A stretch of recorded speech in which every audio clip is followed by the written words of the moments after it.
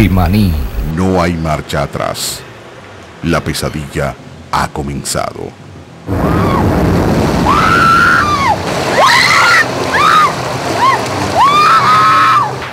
Y en medio de la angustia se escuchó una especie de explosión. La tierra se estremeció y una bola de fuego iluminó al pueblo por completo. Súbitamente, las 40 fue golpeada por una inmensa avalancha de agua, lodo y escombros. Y todos quedaron atrapados en medio de una tenaz lucha contra la muerte.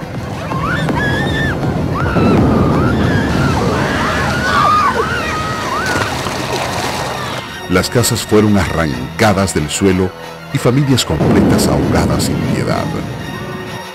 La peor decisión de muchos en su desesperación fue saltar a la corriente de agua muriendo en una espantosa batalla de supervivencia.